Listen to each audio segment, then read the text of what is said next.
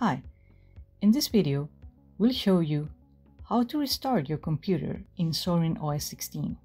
To restart your computer, move your cursor to the bottom right corner of your screen and click over the power off icon or shutdown icon.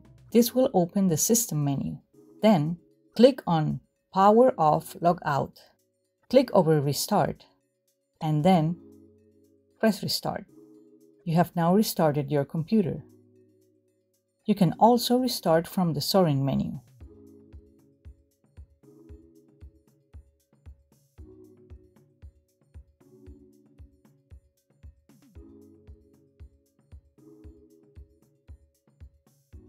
You can restart using the super key,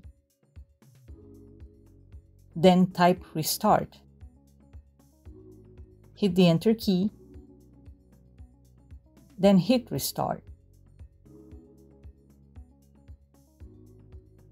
If this video helped you, please consider giving us a like or subscribing. Thanks for watching.